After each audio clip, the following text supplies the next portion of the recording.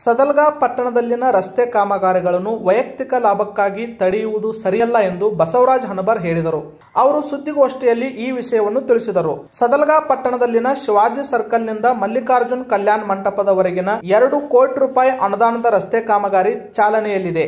PWD ಅಧಿಕಾರಿಗಳು ತಮ್ಮ ಕೆಲಸ ಚೆನ್ನಾಗಿ ಮಾಡುತ್ತಿದ್ದು, ಅದಕ್ಕೆ ತಮ್ಮ ವೈಯಕ್ತಿಕ ಲಾಭಕ್ಕಾಗಿ ಜೈಸಿಂಗ್ ಸಿತೋಳೆ ಮತ್ತು ಬಸವರಾಜ್ ಗುಂಡುಕಲ್ಲೆ ಕಾಮಗಾರಿ ಕಳಪೆ ಮಟ್ಟದ್ದಾಗಿದೆ ಎಂದು ಆರೋಪಿಸಿ ಕಾಮಗಾರಿಗೆ ಅಡೆತಡೆ ಮಾಡುತ್ತಿರುವುದು ಸರಿಯಲ್ಲ ಎಂದರು. ಈಗಾಗಲೇ ಅವರ ಅಧಿಕಾರಿಗಳಿಗೆ ಈಗ ಒಂದು ಧಮಕಿ ಕೊಟ್ಟಿದ್ದಾರೆ ಅನ್ನುವಂಥ ಒಂದು ಶಬ್ದ ಅಲ್ಲಿ ಒಪ್ಪಿಸಿದರು. ಆದರೆ ಪಿ ಪಿ ಡಬ್ಲ್ಯೂ ಡಿ ಅಧಿಕಾರಿಗಳಿಗೆ ಯಾರೂ ಧಮಕಿ ಕೊಟ್ಟಿಲ್ಲ. ಇವರ ಉಲಟ ಅವರಿಗೆ ಧಮಕಿ ಕೊಟ್ಟಿದ್ದರು. ಯಾಕಂದ್ರೆ ಈ ಆ ಏನು ಘಟನೆ ನಡೆದಿತ್ತು, ಆ ಘಟನೆ ನಡೆದಾಗ ನಾನು ಅಲ್ಲಿ ಹಾಜರಿದ್ದೆ. ಅದಕ್ಕೆ ನಾವು ಬದಲಾಗಿ ಅಧಿಕಾರಿಗಳು ಏನು ಏನೂ ಧಮಕಿ ಕೊಟ್ಟಿಲ್ಲ. ಅಧಿಕಾರಿಗಳಿಗೆ ಇವರೇ ಕೊಟ್ಟಿದ್ದಾರೆ. ಈಗ ನಮ್ಮದೊಂದು ಆರೋಪ ಐತಿ ಇವರು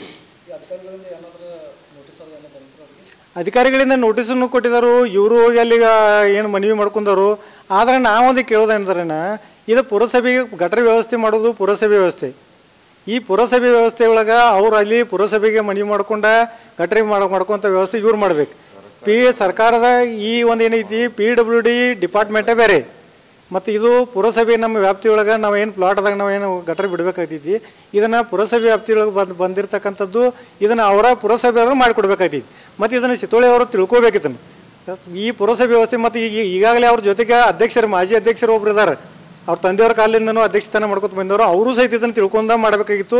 ಯಾಕೆ ನಂಗೆ ಗೊತ್ತು ಅವ್ರು ಯಾವ ಹಿತ ದೃಷ್ಟಿ ಇಟ್ಕೊಂಡು ಮಾಡ್ಕೋದ್ರು ಅದು ಸಹಿತ ಒಂದು ಸ್ವಲ್ಪ ಇದನ್ನು ಜನರು ವಿಚಾರ ಮಾಡಬೇಕಂತ ನಾವು ಇವತ್ತು